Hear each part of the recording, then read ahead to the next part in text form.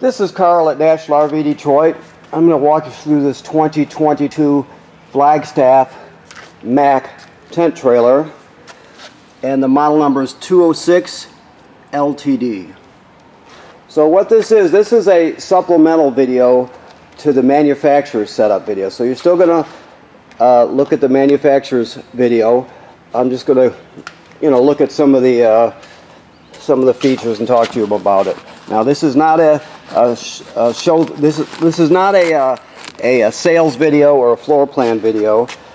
It's a how-to video. Okay. So here we are. Um, first of all, you have crank down stabilizers, and you do get a three-quarter inch crank for those. Those are scissor type stabilizers, and uh, you could also use the the uh, a three-quarter inch six-point socket on a drill. Just don't over crank them either way. You don't overextend them or over, don't over retract them, okay? You're just taking the wiggle out of the trailer, you're not lifting it. Um, now there's a rail here. The, the cooktop that's inside, which is actually right in there if you can see it, that can stay in there or it can hang outside here. You can use it inside or outside the trailer. Um, it hangs on this rail, and there's a hose here. You can see it. That's got a quick connect on it that connects to the to the um, back of the of the grill itself or the, the cooktop itself. So keep that in mind. This, you can hang it inside or outside. Of course, that's just a porch light here.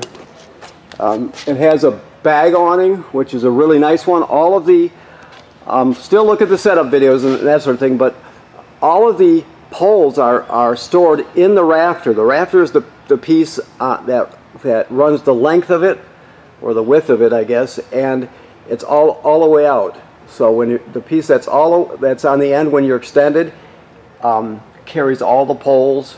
So you just they're on hinges, so you just fold them out, set them correctly.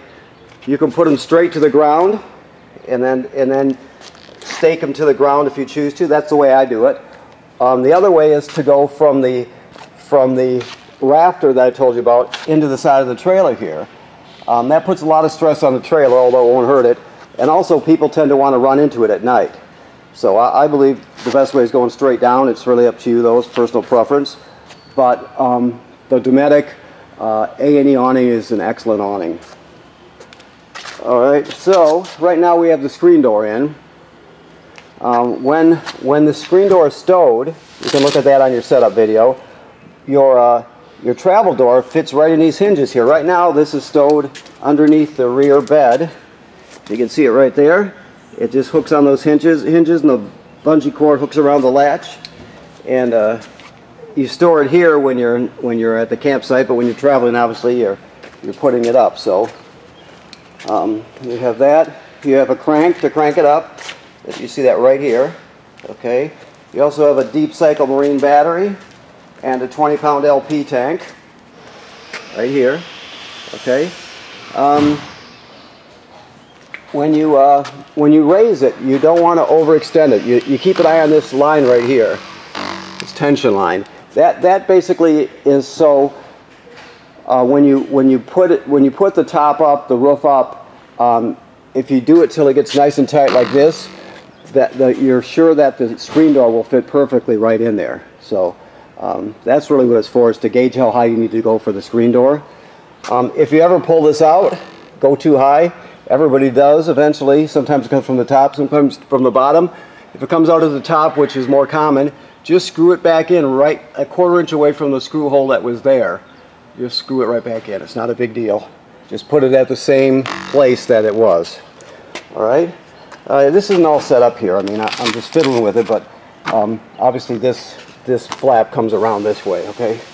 Um, you get a 30 uh, foot, 30 amp cord with a reducer to reduce it down to a 20 amp plug. You also get a. This is just an AC prep. There's nothing in here, but it's a prep port in case you want to add an air conditioner. You can add an air conditioner to this, and if you did, the the the cord would come out of here and it would plug in on the top to send power to the air conditioner. Okay. Um, I should have taken these off already, but I didn't. Let me see if I got something in my pocket. Well, let me just do it this way. coin is a good thing to use. Okay. Set it over here. In the bottom one, where you're going to see the controls at. The refrigerator is running right now. I can feel the heat just a little bit. It's a gas. It's a gas absorption refrigerator. It's also called a three-way refrigerator. The, the, reason for that is it'll run on three energy sources, right? You can um, run it on 110, 120 AC, normal current. You can see that's what it's running on right now. That's turned on. Like it says on this sticker here, never double up on the energy sources. Only use one energy source at a time. Um, if you're going down the road, for example, you can you can run it off 12 volt. Basically, it's taking 12 volt from your battery and, and running the refrigerator. Um, and your battery's being charged by the alternator on your tow vehicle. So uh, you can do that if you need to. Also, you can run it on gas. So to do that, you're just going to go to high, depress this, and spark it like that. That's all you do. You can look in this little porthole here to see if it lights, but um, it'll light usually the first or second pop anyway. But you never double up on, you might have heard it go out when I, uh, when I shut it off. The, you never double up on energy sources like you said, so right now we're using 110 AC, but you have three options, LP gas, 12 volt DC, and 120 AC. Okay? All right. This gets a little warm. You can always tell if it's working, if it's warm.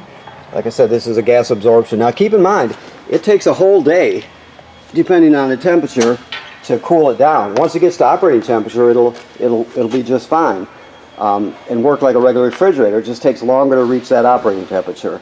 So give it eight hours anyway. Okay. Now this is a this is just the, the drain for the sink.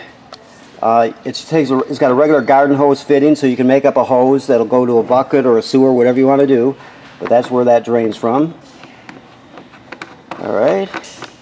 Now this is the city water hookup. This is the most common way to get water whoops, to the trailer. You just put the hose on there, turn it on, you're all set. Now if you're camping someplace that doesn't have plumbing on the campsites, you can still fill this fresh water tank right here and um, fill it up and then you there's an onboard pump. You turn the pump on and it'll pump the water. Everything will work as though it has city water. It'll just be pumping the water out of the tank. So you have two options when it comes to water. Make sure when you get home after you've pulled it 50, 50 miles, 100 miles, whatever, make sure you, you torque the, uh, the uh, bolts again. It's like, a, I think they're, today they're doing 100, 110 foot-pounds, something like that. Just make sure they're snugged up. Okay.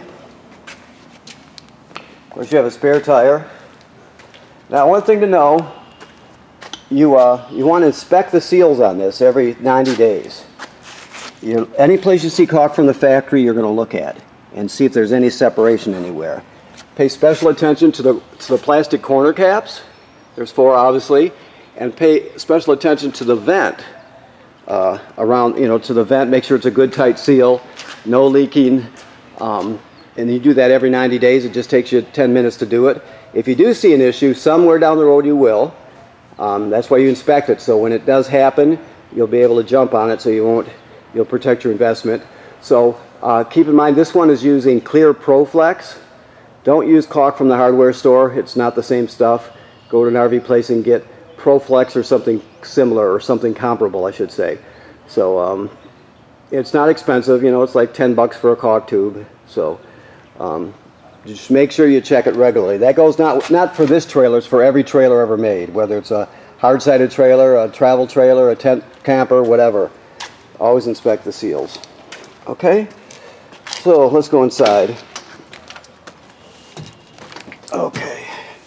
He's still working in here a little bit.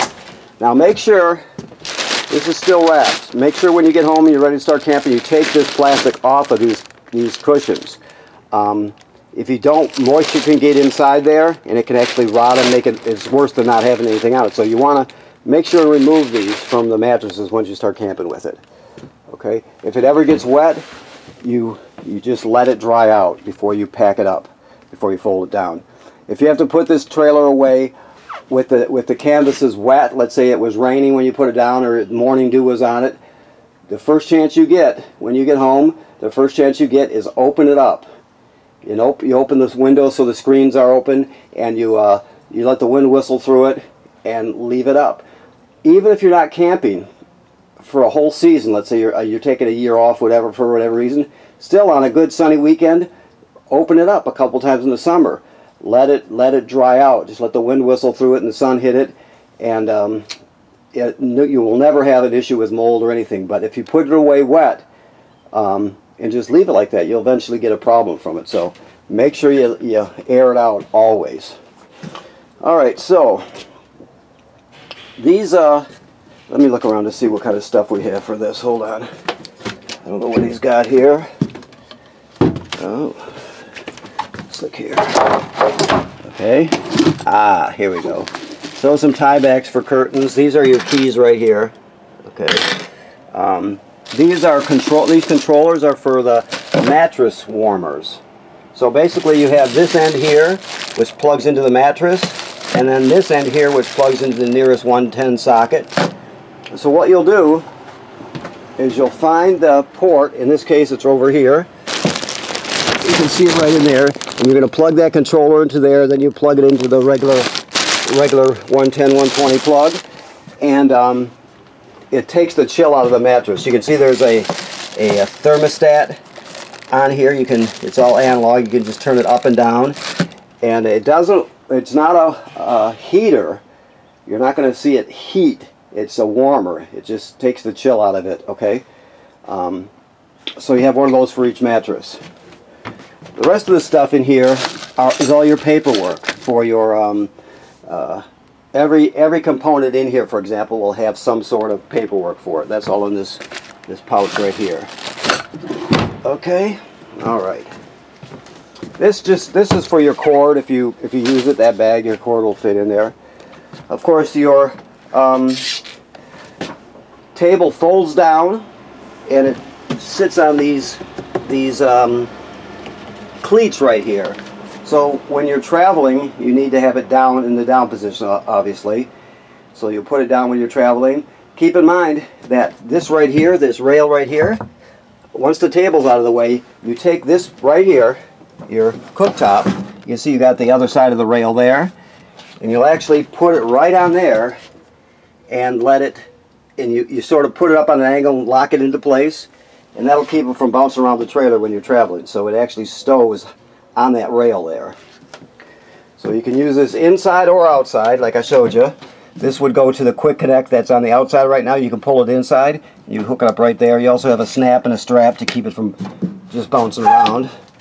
But, like I said, stow it in the correct position when you're traveling down there. Okay?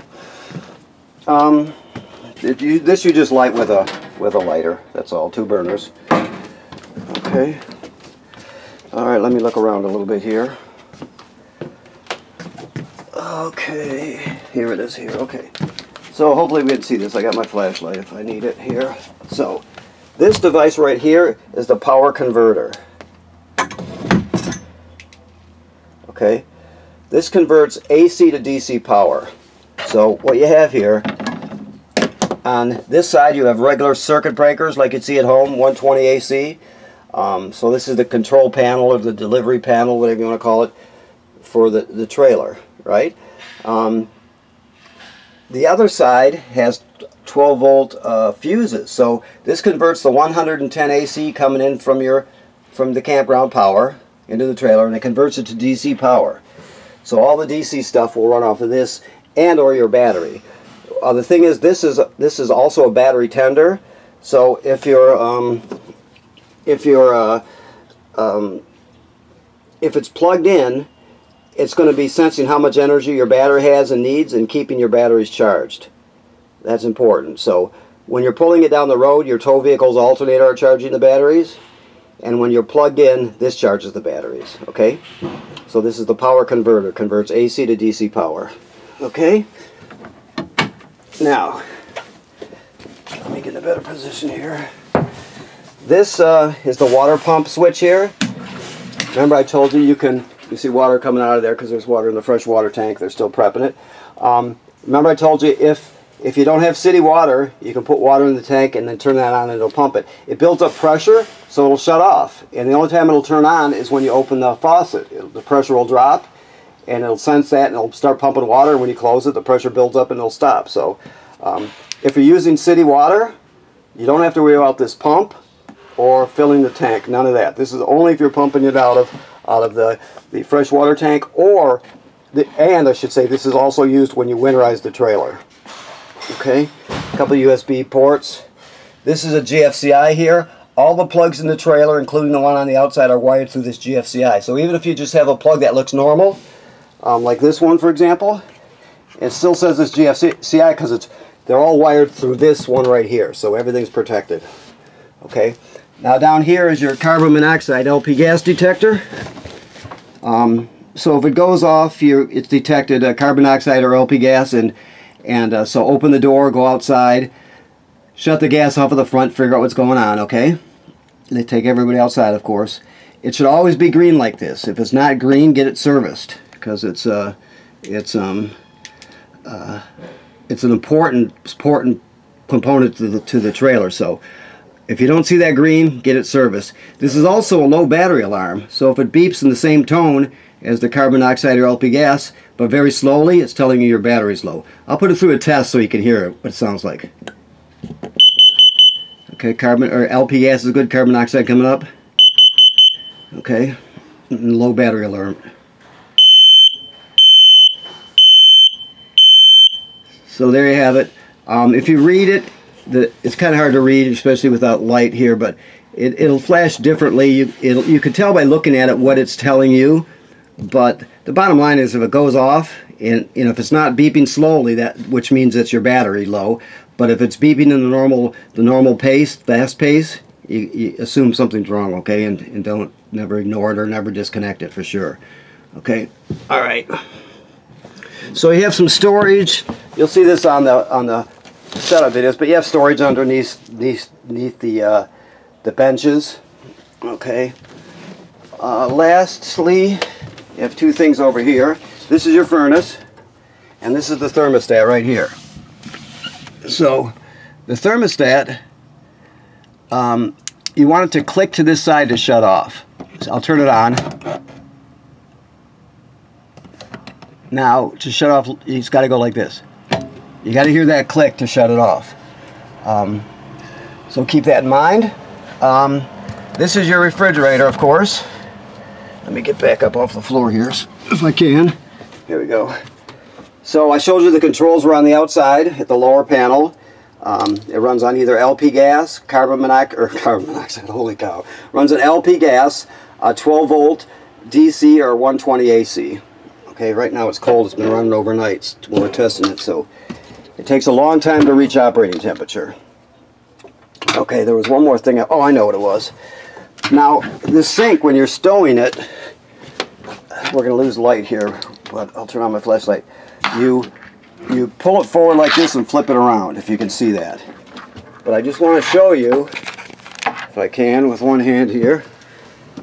Uh, let's see where it's at. Right down here, if you can see the let me get a better, you see that switch right there, it's a push button switch. There's also another one on the other side. Those are kill switches. So when this is put into place, you, if you watch, the lights will come on automatically. That's done just so things can't run when you're when you're, you're you have the trailer in the stowed position and you're ready to travel with it. Because as soon as you flip this sink forward so you can lower the trailer, it it trips the kill switch and it shuts the power off, the 12 volt power to the trailer.